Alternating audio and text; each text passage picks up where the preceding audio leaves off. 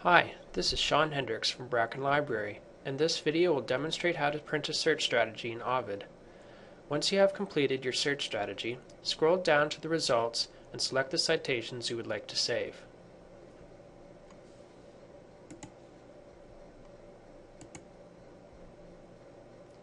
Then click Print.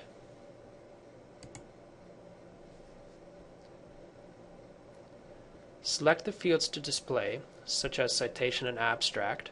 Choose the citation style, and include search history.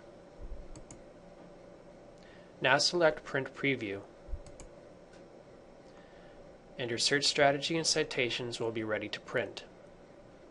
If you have any other questions about Ovid, please contact a Bracken librarian.